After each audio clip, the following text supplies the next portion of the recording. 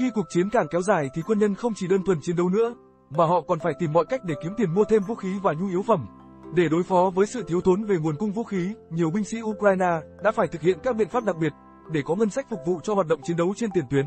Các binh sĩ Ukraine dường như đang bán chiến lợi phẩm thu được từ cuộc chiến, như máy bay không người lái của Nga bị bắn rơi, các quả đạn pháo bị hỏng của Moscow. Thậm chí, trong một số trường hợp, họ còn kiếm tiền từ những đoạn video ghi lại cảnh chiến đấu với Nga. Các khoản tiền sau đó được sử dụng để góp vào quỹ phục vụ cho hoạt động chiến đấu trên tiền tuyến.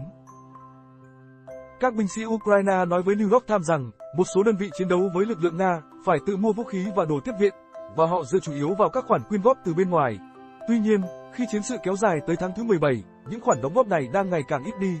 Vì vậy, để duy trì hoạt động chiến đấu, binh sĩ Ukraine ở một số đơn vị phải nghĩ ra cách để có ngân sách mua vũ khí, theo báo Mỹ. Ví dụ, New York Times đưa tin về trường hợp của binh sĩ Russian Zubariev người kiếm tiền nhờ đoạn video quay cảnh quân nhân này bắn rocket về phía Nga. Đoạn video lan truyền trên mạng xã hội Telegram, Instagram, mang lại hàng nghìn người theo dõi và một nguồn doanh thu và chúng đã được chuyển thẳng tới đơn vị của Zubariev lữ đoàn cơ giới 92 để mua một số vũ khí, khí tài.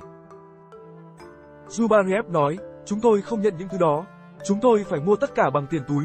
Tại một trung tâm nghệ thuật đương đại ở Kiev, Pablo Vicebaba, 37 tuổi, một trung đội trưởng của lữ đoàn 68, từ lâu đã đi vận động quyên góp để mua đồ tiếp tế cho đơn vị của mình. VC33 gần như đã tạm gác nhiệm vụ chiến đấu để di chuyển khắp đất nước nhằm vận động tài trợ cho đơn vị của anh. Tôi thấy hoạt động gây quỹ trên Internet vào đầu năm 2023 đã không còn hiệu quả, có lẽ khán giả của tôi đã cạn kiệt, và chúng tôi chưa đạt được thành tựu lớn trong một thời gian dài. Nhưng chúng tôi vẫn cần tất cả những thứ này, ngân sách để chiến đấu. VC33 cho biết, trong hai tuần qua, VC33 thu được hơn 100.000 đô la Mỹ, và số tiền này sẽ được chuyển ra tiền tuyến. Sau đó, quân nhân này sẽ trở lại tiếp tục chiến đấu sau nỗ lực gây quỹ. Một số binh sĩ khác bán vũ khí không còn sử dụng được, như bệ phóng tên lửa chống tăng bị vô hiệu hóa, cho những người có nhu cầu mua về trang trí. Các món đồ này được bán đấu giá ở một trung tâm tại Kiev, theo New York Times. Trong khi đó, người đứng đầu tổ chức Comeback Online, một tổ chức chuyên tài trợ cho quân đội Ukraine nói với New York Times rằng, các khoản quyên góp giảm dần kể từ năm 2022. Trước tình hình này, tổ chức trên đã chuyển sang bán các chiến lợi phẩm tịch thu từ Nga, ví dụ máy bay không người lái của Moscow bị bắn hạ. Người dân thường không nhận ra rằng, nếu họ mệt mỏi và ngừng quyên góp, điều đó không có nghĩa là cuộc chiến đã kết thúc, quân nhân Zubariev nói với New York Times. Cảm ơn các bạn đã xem bản tin.